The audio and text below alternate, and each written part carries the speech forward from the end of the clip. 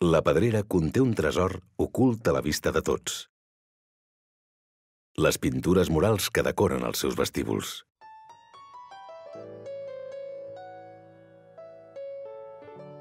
Tan aviat traspassem el llindar, ens trobem davant d'un conjunt pictòric fascinant.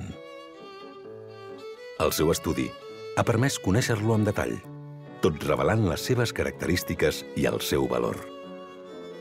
Aquesta gran intervenció mural obra del pintor simbolista Aleix Clapés, converteix l'entrada a l'edifici en un meravellós jardí florit poblat de figures mitològiques i de la tradició cristiana.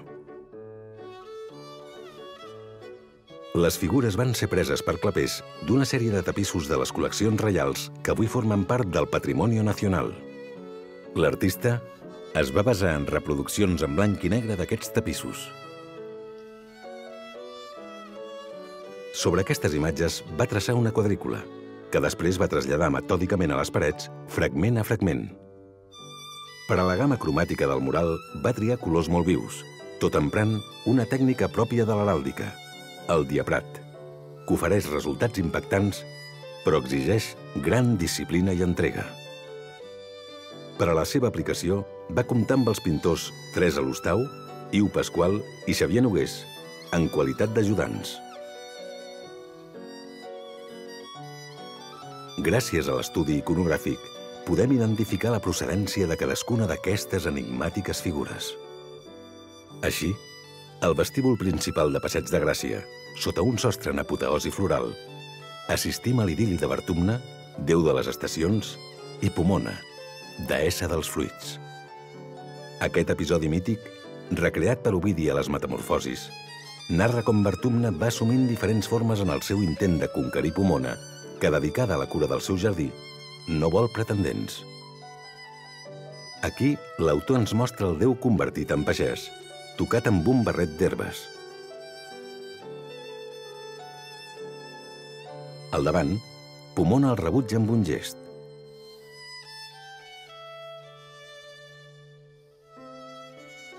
Entre ells, una altra parella llegendària – la nimfa siringa escolta el déu Pan tocar la flauta de set canyes que porta el seu nom. Aquí torna Bertumna, transformat aquesta vegada en pescador, portant la seva canya. Sota les columnes corínties, uns nens porten fruites i els sàtirs ballen al voltant de Dionís.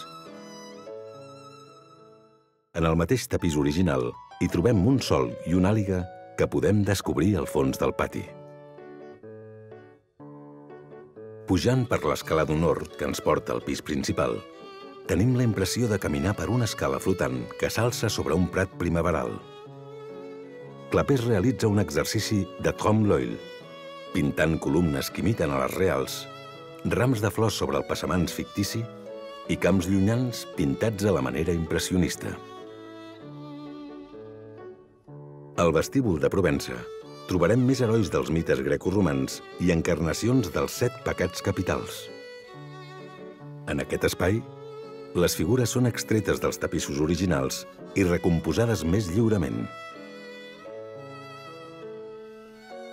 A l'entrada, la profetessa Cassandra, qui va predir la caiguda de Troia i va suportar la maledicció de no ser creguda per ningú.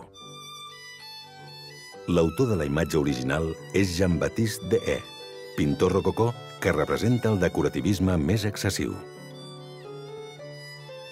Aquesta mateixa pintura es trobava també reproduïda en la decoració interior, avui desapareguda, del primer pis de la Pedrera, que albergava el fastuós habitatge gaudinià del cònsul argentí Alberto Gatche, el conegut com Pis Gatche.